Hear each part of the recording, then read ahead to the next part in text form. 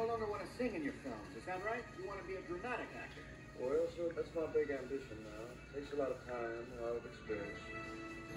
He was as good as Brando. But you didn't want to see him in movies where he didn't sing. Less conversation, a little more action.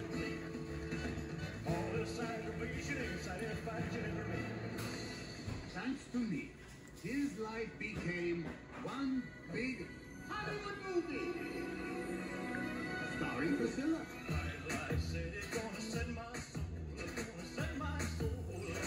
And the cast of his buddies and cousins, his Memphis Mafia.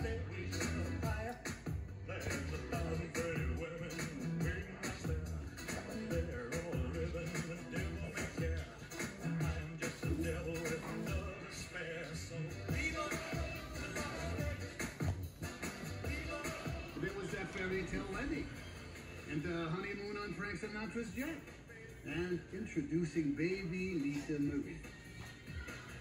I made him the highest paid actor in Hollywood history. We had a lot of fun. But Elvis was a young man, and of course, he got distracted. So we made them faster and cheaper. As teens turn their attention to the teenage drama. Is it my fault?